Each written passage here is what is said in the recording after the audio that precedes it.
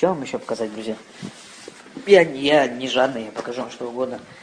Лимон, зелень, персики, слива, варенье, опять зелень. Холодец, пожалуйста. Пожалуйста, рыбка красная. Это Даниэльчик. Икра, пожалуйста, две баночки. И творог снова. Снова зелень. Это патчи под глаза. Это маски. Маски это яйца. Это яйца. Пожалуйста, льняное масло. Пожалуйста, если захотите выпить.